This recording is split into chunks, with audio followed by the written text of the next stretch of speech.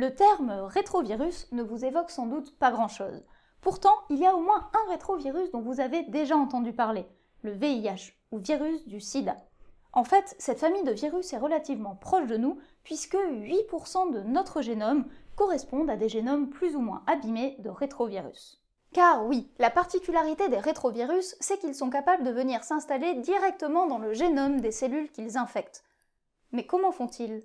En fait, à l'échelle d'une cellule, le principe général de l'infection virale est assez basique. Le virus rentre dans la cellule et la manipule de l'intérieur pour la transformer en usine productrice de nouveaux virus, qui pourront aller infecter d'autres cellules, du même organisme ou d'un nouvel individu, qu'ils transformeront en usine à produire de nouveaux virus, etc., etc. Pour comprendre comment les rétrovirus détournent nos cellules et s'incrustent dans nos génomes, il faut savoir à quoi ils ressemblent et avec quel matériel ils passent à l'assaut. Ce qui arrive au contact de nos cellules, ce sont des particules virales, également appelées virions. Celles des rétrovirus sont à peu près sphériques et mesurent environ 100 nanomètres, c'est-à-dire un 10 millième de millimètre de diamètre. Comme les ogres et les oignons, ces particules rétrovirales ont des couches. Elles sont recouvertes d'une épaisseur de lipides, c'est-à-dire d'une couche de gras, qui ressemble à celle entourant les cellules. C'est au sein de cette protection externe des rétrovirus qu'on trouve la fameuse protéine d'enveloppe dont parle le chapitre associé à cette vidéo. En dessous, on trouve plusieurs coques protectrices constituées de protéines dont la forme varie selon les virus. Elles peuvent être rondes, ovales, rectangulaires, voire en forme de trapèze pour le VIH. Au cœur de ces différentes coques se trouvent des outils utilisés par les rétrovirus pour détourner les cellules, à commencer par leur génome. Présent en deux exemplaires, il sert de notice pour fabriquer les éléments des virus qui sont produits par les cellules infectées.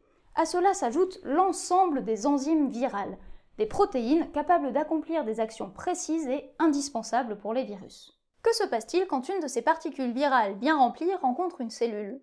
La plupart du temps, rien du tout. Ça vous surprend? Les rétrovirus sont difficiles. Leur protéine d'enveloppe est une clé moléculaire. Elle ne peut ouvrir l'accès qu'aux cellules qui possèdent la bonne serrure. C'est par exemple pour ça que le VIH est capable d'infecter les cellules du système immunitaire, mais pas celles de la peau. Donc, quand un rétrovirus tombe sur une cellule qui a la bonne serrure, il rentre à l'intérieur. En fait, la protéine d'enveloppe, lorsqu'elle reconnaît sa serrure, provoque la fusion de la couche de gras entourant le virus avec la couche de gras entourant la cellule.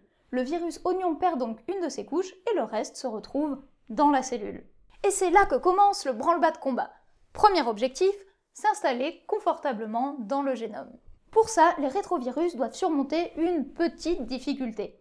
Les génomes des cellules qu'ils infectent sont composés d'ADN, mais pas le leur. Les deux copies du génome viral sont faites d'ARN, une molécule qui ressemble suffisamment à l'ADN pour porter le même genre d'informations, mais pas assez pour s'y dissimuler incognito.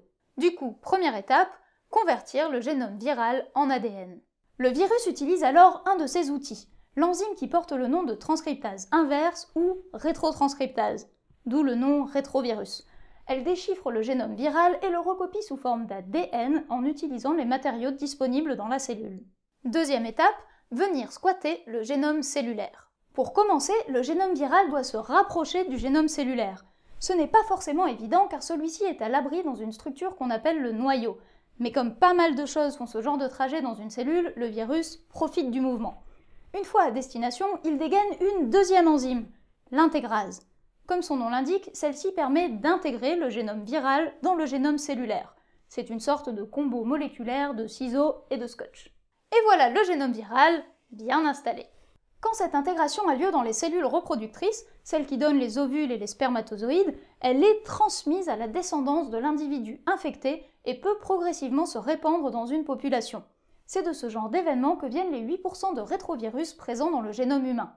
Une fois le génome viral en place, il ne peut plus vraiment être délogé. Et il détourne la chaîne de production qui permet normalement à la cellule de fabriquer ses protéines pour lui faire fabriquer des protéines virales. C'est une chaîne de production qui fonctionne en deux étapes. L'ADN est recopié sous forme d'ARN, puis ces nouvelles notices d'ARN sont suivies pour fabriquer des protéines. Premier avantage, la quantité est multipliée à chaque étape. Une seule copie d'ADN, le génome, donne plusieurs ARN, et chacun de ces ARN donne plusieurs protéines. ARN, ça vous rappelle quelque chose? On en a parlé il y a pas très longtemps.